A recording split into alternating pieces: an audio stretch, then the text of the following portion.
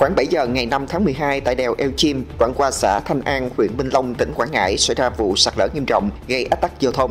Hơn 7.700 mét khối đất đá từ trên núi đổ xuống đường tại km 36 600 tỉnh lộ 624 đèo Eo Chim. Khi núi sạt lở không có người, phương tiện lưu thông qua đây nên không có thiệt hại về người. Ngay sau khi xảy ra vụ sạt lở, huyện Minh Long đã kiểm tra hiện trường cử lực lượng túc trực, đặt biển cảnh báo để người dân không lưu thông qua khu vực.